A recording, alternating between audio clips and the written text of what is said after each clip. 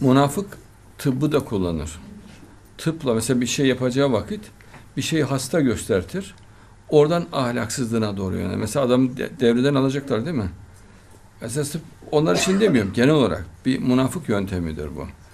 Hastalığı kendi amacı için kullanır. Mesela bir şey elde etmek istediğinde hastalığı bahane eder, ondan elde etmek ister.